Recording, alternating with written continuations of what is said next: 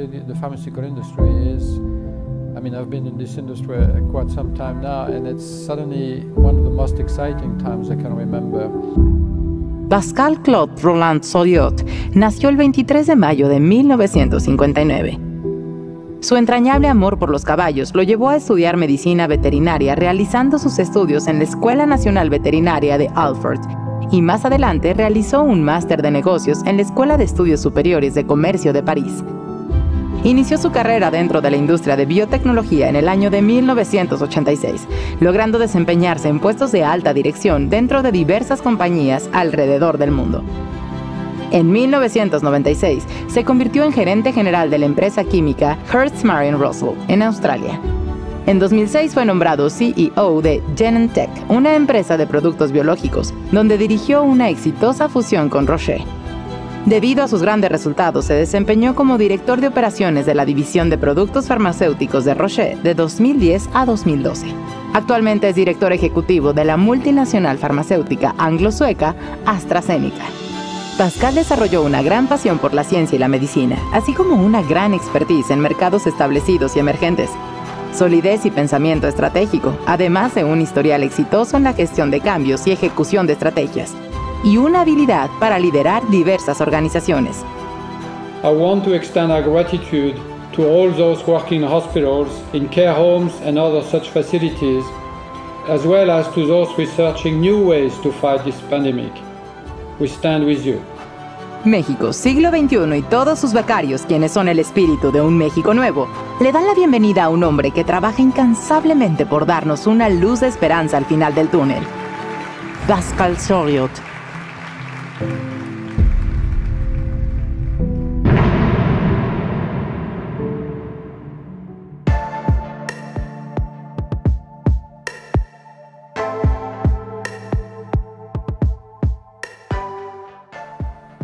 a todos, buenos dias. Hello, good day. I'm really excited to be invited to speak to you today. As outstanding scholars of the Telmex Telcel Foundation, you are the future leaders of Mexico and beyond. You are the leaders of tomorrow who will have the power to continue to bring about positive change and make our world a better place for everyone. And today's event, made possible by the Foundation, provides a great opportunity to share, to learn and reflect as we all try to shape a positive future despite the challenges presented by the unprecedented situation in which we find ourselves. Before I introduce the themes of my presentation, I want to recognize the importance of the scholarship program and its goals of providing equal opportunities for students based on both academic excellence and contribution to society. The diversity of speakers and participants attending this event is a great testament to this vision. I personally certainly was not planning on becoming the CEO of one of the world's most innovative companies when I started out in my career. I came from a very modest background and I grew up in an affordable housing suburb. I got into some scrapes at times but I always pushed myself to be, to be the very best I could be. This commitment enabled me to get into university very young, where I studied to be a vet because I love horses. As I completed my studies and got older, I decided that I actually wanted to join the pharmaceutical industry. My father died unfortunately very young, my mother didn't work at the time, and I had three young brothers. So I had to work a few years as a horse vet before I could change course and go to business school. I'm sharing these details of my life to show you that with hard work, commitment and flexibility, you can take your career and your life into many different exciting directions. I've been lucky to be able to work in New Zealand, in Australia, in Japan, in Switzerland, in the United States, in New Jersey, in California, and more recently in the UK and I've learned to appreciate different people and cultures. Even though I actually was born in an underprivileged suburb in France and I never left my country of birth until I was 24 years of age. After business school, I joined the pharmaceutical industry, which enabled me to focus on science, medicine, and making a contribution to society. the diversity of professional settings, cultures, and also challenges that I have been fortunate to experience, particularly during the earlier years of my career, fundamentally shaped my values, my leadership style, and also my appreciation of how we can all contribute to society. It is these values and these attributes that have helped to shape my, my journey as CEO of AstraZeneca, and that will be the focus of my presentation today. The first point I wanted to make today concerns the importance of living and holding true to your values. When I first joined AstraZeneca, the organization faced a number of challenges, including declining sales and a weak product pipeline, which is the lifeblood of pharmaceutical companies. So, why did I take on the role? Each time you change jobs, you have to ask yourself if it is the right thing to do. Personally, I have always been attracted to and, and I've taken jobs that were always a bit of a risk. Risk is part of life, and it is part of everything we do at AstraZeneca. And I had no hesitation in accepting the challenge. It was a company I had always admired, not least for its focus on scientific innovation and I knew it had great people and great potential. It had just lost its focus on the fundamentals. In our industries, fundamentals start with a focus, a relentless focus on pushing the boundaries of science to deliver life-changing medicines. And to achieve this, there was much to do at AstraZeneca to rebuild the company's self-confidence and the culture. Today, I'm very proud to see how the efforts of everyone across the company over many years are paying off, not least in how we are delivering medicines and solutions that are helping patients who are facing some of the world's, the world's most serious health challenges, and also the way the company is making a positive contribution to society. So what has helped to guide our actions at AstraZeneca during the turnaround? First, we identified and we laid out a clear strategic focus. Secondly, we established a shared, a shared purpose that guides all of us. That shared purpose is to push the boundaries of science to discover life-changing medicine. Our common goal, the reason we come to work every day, is to innovate, to discover new medicines and write new pages in the medical textbooks. Having a shared purpose, knowing what you come to work every day is fundamental. And finally, and most importantly, we defined a set of values that are more than words on paper. They help us drive progress on a day-to-day -day basis, as well as act as a check and balance on all our actions. What are those values? First, we follow the science, following the twists and turns that science presents. Second, we put patients first, ensuring they are at the heart of everything we do. Third, we're entrepreneurial. We look for opportunities to innovate. And fourth, we play to win, aiming to deliver the best possible results. Fifth and finally, we do the right thing, focusing on the greater good of our company and society. As I said earlier, these values drive decisions and behaviors across AstraZeneca, and our response to COVID-19 presents examples of how we are living each of those values. I'll cover our response to the pandemic in detail later, but my question for you to reflect on at this stage is whether you are clear on your values and how they're connected to your decisions. My second theme today is leadership. Another key factor that has been central to AstraZeneca's progress. Leaders are crucial in enabling and supporting the 70,000 employees who make AstraZeneca what it is. Leaders provide direction, they identify priorities, and they speed decision making. But most importantly, leaders need to reinforce every day our shared purpose and live our values. As a leader, I would describe my personal style in two words, casual intensity. These are two words that have a symbiotic relationship. I have found that being casual, being approachable, empathetic, inclusive, helps to foster an environment where people feel able to share their views and to engage in debate that drives innovation. We should also be humble and accept we will sometimes fail. which is a factor in all companies, and in particular in pharma, where science is complex, you have to take educated risk, and of course you can fail and you have to accept it. But performance is also key. There must be an intensity to our actions, a desire to push ourselves to achieve stretching personal and professional goals.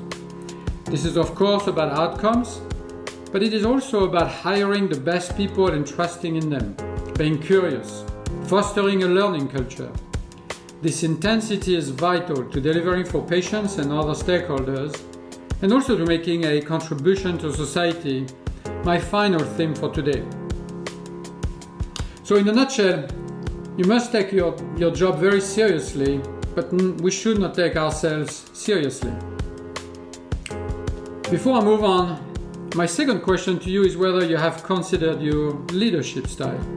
What actually drives you and who are you and, and how do you lead? What, how do you think you will be leading in your respective companies? Finally, the importance of singing, being, and contribution to society is what I would like to talk about. Earlier this year, I announced a program called Ambition Zero Carbon, committing AstraZeneca to eliminating greenhouse gas emissions from our sites and our fleet by 2025 without carbon credits, and to be becoming carbon negative across our entire value chain by 2030. When asked about my motivations to implement this program, which is very ambitious, I look at my children and my grandson, who will maybe one day ask me, What did you do to address the global climate crisis? Every one of us has the potential to contribute to society, and collectively we make a big difference. The current pandemic is a clear example. COVID 19 has no borders. Many lives have been lost across the world, jobs have gone, and our way of life has been disrupted as governments have taken the steps to try to control the spread of the virus. As CEO of a science driven company, I knew we had to step up to fight the virus and support society. AstraZeneca is a company blessed with some of the world's best scientists. We have partnerships with leading academic institutions and companies, and we have global reach with operations in over 100 countries that could make a big difference. But more than this, we are a team that, that lives our values and knows the power of what science can do. So, as the virus emerged, we landed on four objectives where we believed we could make a difference. First of all, we provided emergency relief and humanitarian support. For example, as the virus took hold, we donated 9 million face masks and other medical supplies to countries most in need. We also worked diligently to ensure the continuity of care and patient safety. Our medicines are important, and for example, switching the administration of these medicines to patients at home rather than in hospital enable physicians to continue taking care of their patients without exposing them to the risk of coming to the hospital. Thirdly, we ensured the continued supply of our medicines. Throughout the pandemic, patients have remained in need of medicines, and despite having to overcome considerable, considerable challenges to supply chains, I'm proud to say that we have maintained supply. It was, of course, very important. All our medicines are needed and patients needed to be able to keep controlling their chronic conditions. Lastly, we are driving forward research and development, and so let me tell you a little bit about what we are doing. First of all, we have a COVID-19 monoclonal, monoclonal antibody research. We have recently identified and progressed antibodies into clinical development. As you may know, monoclonal antibodies mimic natural antibodies. They support the, um, the body's immune response and we hope that an antibody-based treatment could neutralize the virus and be given as a preventative option for those who are exposed. It could also be used to treat the disease progression in patients that are already infected by the virus. Finally, it also has the potential to provide an immediate effect in the patient. So therefore, those can be used for prophylactic use or for treatment. Secondly, we are exploring how our some of our existing compounds might help in the treatment of COVID-19, either by reducing the excessive immune response in some patients or protecting the organs from damage.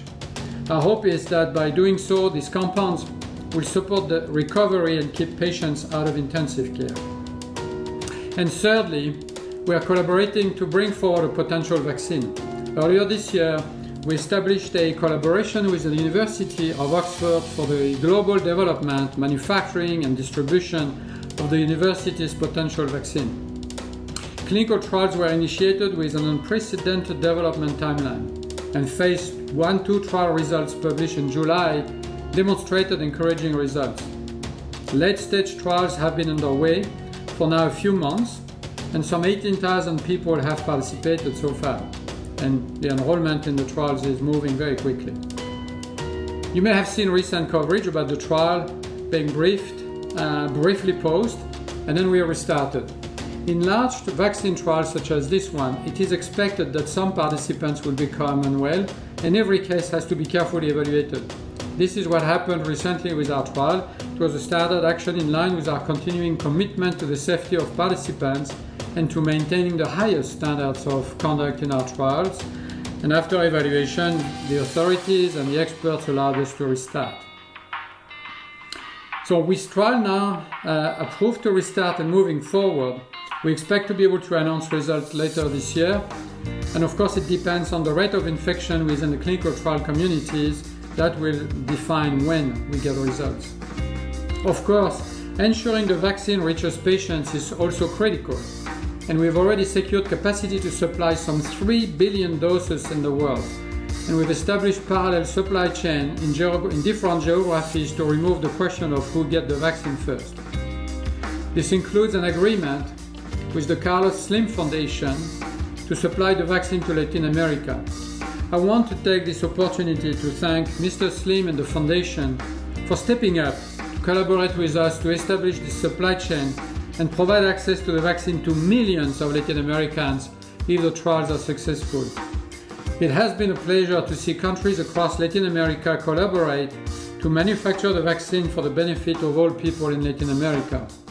This project has been a great demonstration of public-private partnership and a great example of what can be achieved when people from different walks of life come together to resolve an issue. We have also committed to making the vaccine available at no profit during the pandemic, so the vaccine can be available in a fair and equitable manner to everybody around the world.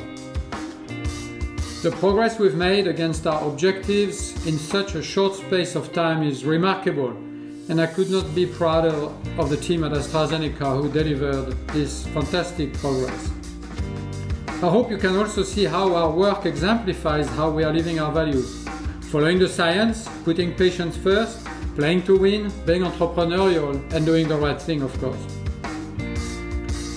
We will get through this challenge as a society. It is just a question of when. But with the progress taking place across the pharmaceutical industry, many companies are working on this challenge. I'm confident that a brighter, brighter future is not too far away. So, as you move forward in your careers and your personal lives, I would like to leave you with the following challenges for how you do so. First of all, I would urge you to think about your values and your purpose and consider how they match with those of organizations you are considering joining. Will you be joining a team of people who share your values and do they share a common purpose that inspires you? Second, consider your leadership style. How do you want others to see you as a leader? What will make you successful in your chosen path. And third, always think big and consider how you can make a difference to society. What the COVID 19 situation has taught us all is that our society is more fragile than we had thought. The worlds need to come together before we are faced with challenges that are even harder to overcome, such as an environmental catastrophe, and every one of us can make a difference. Finally, Remember that taking smart risks is, part of progress, whether it is in your professional role or to manage your career. So be flexible, do not hesitate to take educated risks and accept you might fail. If you fail, simply dust yourself up and start again. You will learn from your successes and you will learn even more from your setbacks. Last of all, I hope my presentation today has helped to reinforce that with hard work, commitment, and passion, you can achieve your goals no matter where you start off in life. So, with that, let me congratulate you for your extraordinary achievements and thank you for your time and your attention. I hope that you and your loved ones stay safe and well. The virus has not gone away, and we must all take pre precautionary measures until such time that safe and effective medicines are available. Muchas gracias. Thank you again for this opportunity, Tony. I'd be very happy to answer your questions now. Pascal, en primer lugar, muchas gracias por compartir tus conocimientos en un tema que está en la mente de todos. Un evento muy desafortunado, un evento catastrófico que ha afectado la salud, la vida, el empleo de millones de personas y también la situación global de la economía. Lo que AstraZeneca ha logrado hasta ahora no tiene precedentes no solo por el rápido desarrollo de la vacuna, sino también porque simultáneamente se han establecido alianzas en diferentes regiones del mundo con fabricantes, proveedores, gobiernos y organizaciones sociales como la propia Fundación Carlos Slim para que la vacuna esté disponible y sin fines de lucro lo antes posible y para la mayor cantidad de personas como sea posible. Hemos sido testigos de cómo trabaja tu equipo de trabajo, lo rápido que actúan y la rapidez también en la toma de decisiones. Pero por favor, platícanos cómo ha sido este desafío. Thank you for the question, Tony. This is in fact a global crisis that demands a global response. You're right. Though we are a science driven company, coming up with a therapeutic or vaccine is only part of the solution. We need, to, we need to make it available to as many people as possible, as quickly as possible. And from the very beginning, we committed to a broad and equitable supply of the vaccine around the world at no profit during the pandemic. No single company or individual can tackle this challenge alone. So our approach has been based on partnering with stakeholders with complementary strengths, and we have worked with governments and other organizations around the world to help beat this virus. So far, our supply capacity towards uh, 3 billion doses of the vaccine candidate have been agreed with the UK, the US, Japan, Australia, China, the Europe's Inclusive Vaccines Alliance, the Coalition for the Epidemic Preparedness, Gavi, uh, the Vaccine Alliance, and also the Serum Institute of India, R-Pharm in Russia, Fiocruz in Brazil, and finally, very importantly, our alliance with the Slim Foundation in Latam. We also continue to have discussions with other regions and countries around the world to further increase our capacity. For Latin America in particular, we are aware of the urgency to have a broad access to a successful vaccine to start the recovery of the economic and the social systems and to allow Latin Americans to move to a next normal as soon as possible. So we were very happy to partner with Carlos Slim Foundation to pursue that uh, ambitious, ambitious goal. And we're also looking forward to working with a manufac manuf Mexican manufacturer, Liomont, on the technology transfer process for the production of the finished product for Latin America. I have to say the response of the Slim Foundation to this pandemic is a great example of the tremendous difference private organizations that are driven by a purpose can make to the lives of millions. The public-private partnerships across LATAM to address this crisis have been very energizing for me and they are an example for the rest of the world, I believe. At a time of growing polarization, this broad collaborative effort shows that there is a better way.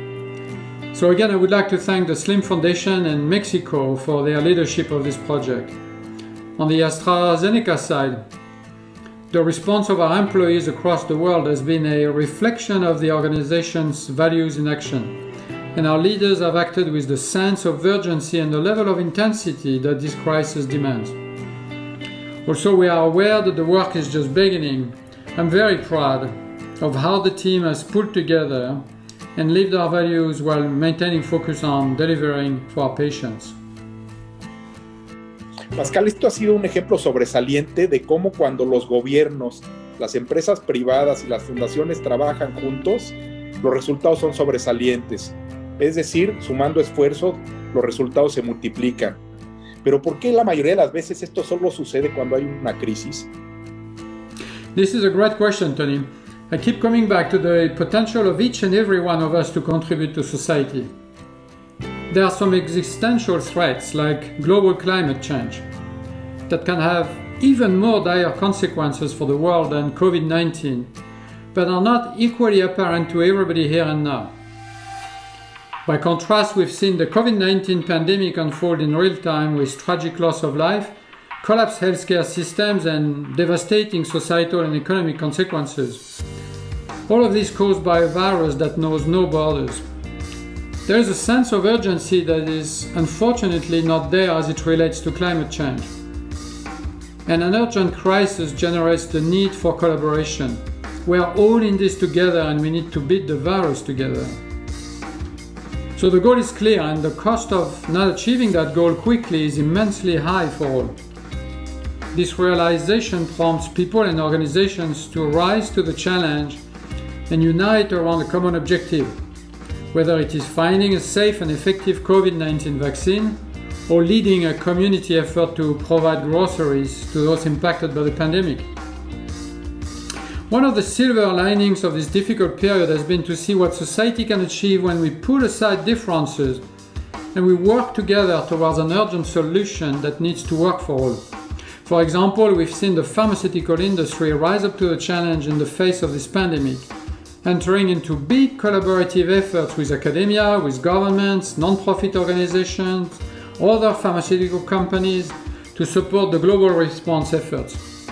We've seen countries collaborate in Europe, in Latin America, in South Asia. So when we move to our next normal, we'll be able to look back to great examples of partnership among stakeholders from all walks of life that we would have never thought possible before this pandemic. Hopefully, we will learn that all of us can contribute to society and, we, and that we can achieve outstanding results by leveraging our collective strengths and I would also say that I hope, I really dearly hope that the world will learn this lesson to really deploy resources and efforts to preparing to, to fight for uh, to fight climate change and to prepare for potential other uh, crises.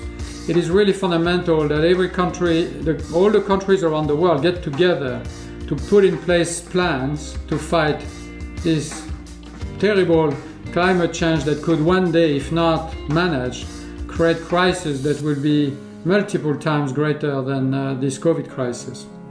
Pascal, todos esperamos que una pandemia como esta nunca vuelva a suceder, pero en caso de que esto ocurra, ¿cuáles son las lecciones aprendidas? This is a key point, Tony, and this is uh, work in progress, as I believe we will have more to learn from this very difficult experience. The big lesson is that this crisis showed us societies are prioritizing health ahead of the economy. This is a big change, as never happened in the history of the world. So, establishing a well functioning, resilient, and inclusive healthcare system that can take care of people during health crisis without having to shut down the economy should really be a global priority to mitigate the enormous loss that, are, that a similar event can cause in the future. So, what are the practical learnings?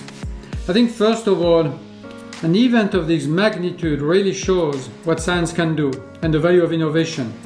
Since the outset of this crisis, science has provided public health tools to mitigate the spread of the virus.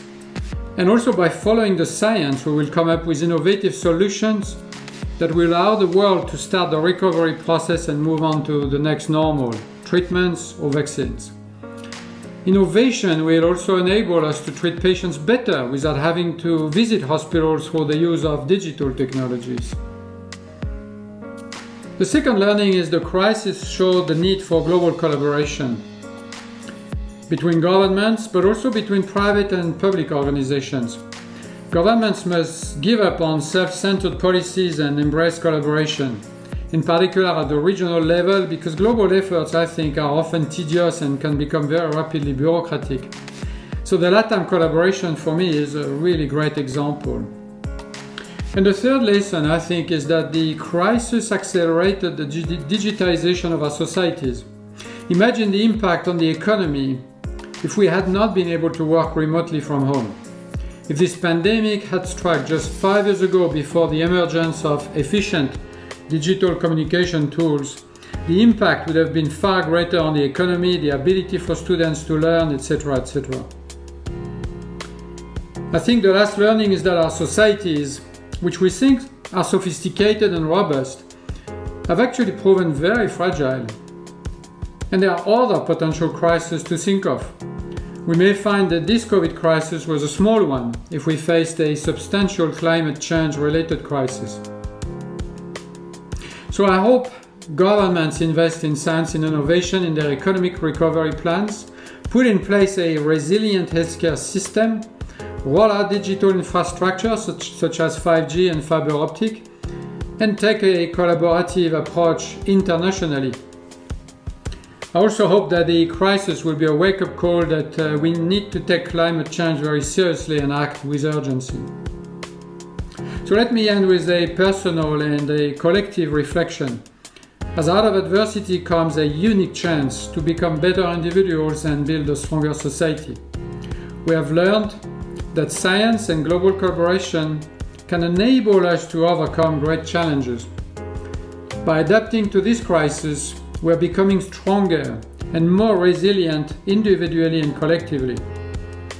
Despite these difficult times, I believe that if we learn from this crisis, we will emerge stronger and build a bit better future for all. Pascal, nuevamente muchas gracias por tu participación en este tan relevante foro para el futuro profesional de miles de jóvenes mexicanos. Muchas gracias y mucho éxito.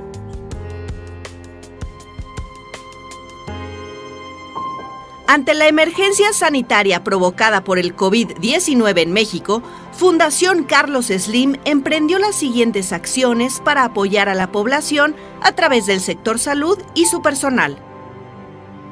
Con el propósito de fortalecer la capacidad de análisis de los laboratorios en el país, se ha dotado de equipos e insumos para realizar pruebas de detección de COVID en los principales institutos nacionales de salud los hospitales federales de referencia, el Instituto de Diagnóstico y Referencia Epidemiológicos de la Secretaría de Salud, así como en la red de laboratorios estatales. Al día de hoy, se han donado en total 270.821 insumos para la aplicación de pruebas. Con el objetivo de mejorar la capacidad de atención, se donaron diversos equipos especializados tales como ventiladores para la atención de pacientes en estado crítico, para la seguridad del personal de salud han sido entregados más de 1.836.000 equipos de protección esencial, en particular mascarillas N95 de alta calidad, para que pudieran desempeñar sus actividades con los más altos estándares de bioseguridad. Asimismo, en el contexto de la emergencia sanitaria, Grupo Sanborns ha contribuido con más de 943 mil comidas para el personal médico y de apoyo de 33 hospitales públicos de la Ciudad de México, de Jalisco y Nuevo León.